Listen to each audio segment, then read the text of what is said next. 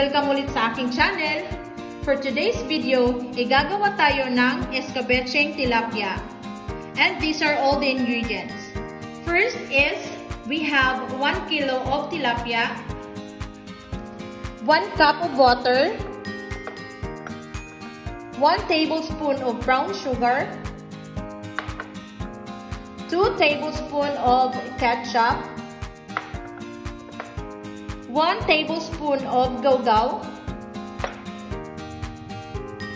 ginger, carrot, bell pepper, garlic, and onion. So, tara! Magluto na tayo!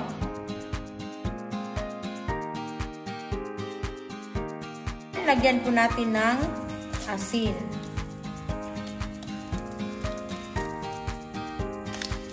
Lagyan din po natin ng magic sarap para meron po siyang lasa. Yan. So, ready na pong iprito ang ating tilapia.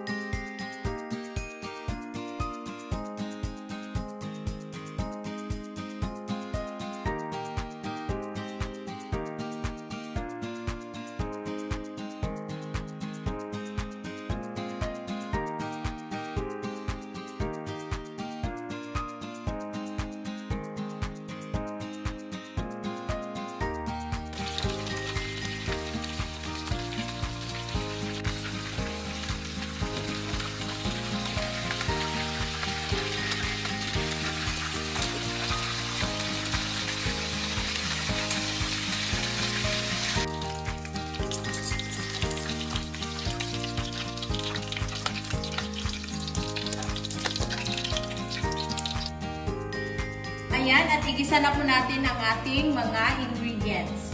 First is the garlic.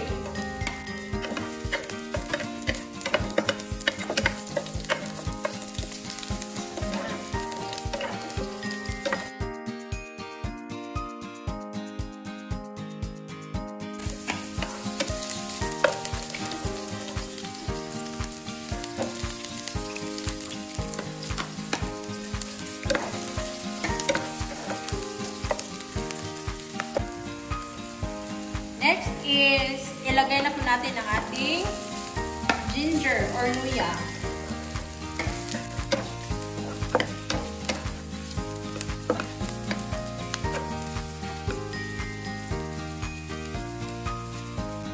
Next is, tunawin lang po natin sa isang basong tubig ang ating gawgaw. Ilagay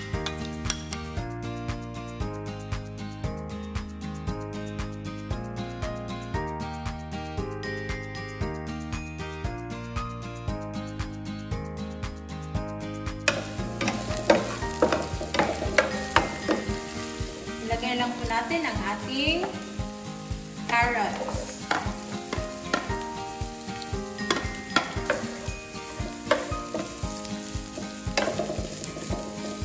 Then, let us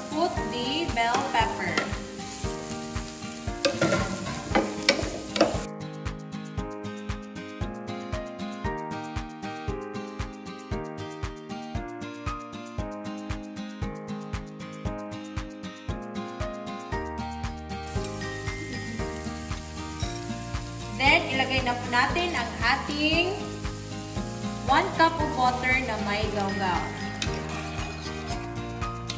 At halu-haluin lamang po. Yan.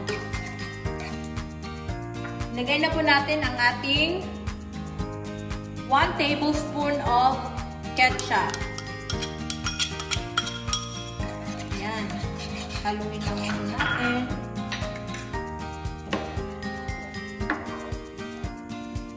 Then, let us put the 1 tablespoon of sugar.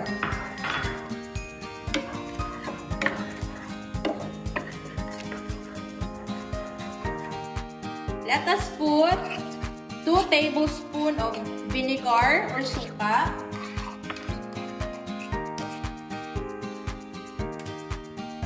Magic sarap.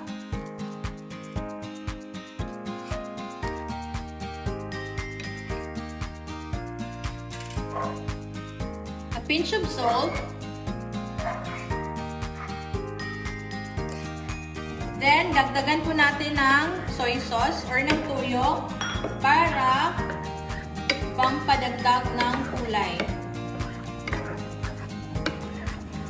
Hinaanan po natin ng apoy para hindi po masunog ang ating sauce ng escabeche. Ilagay na po natin ang ating isda or ang ating tilapia. Ayan.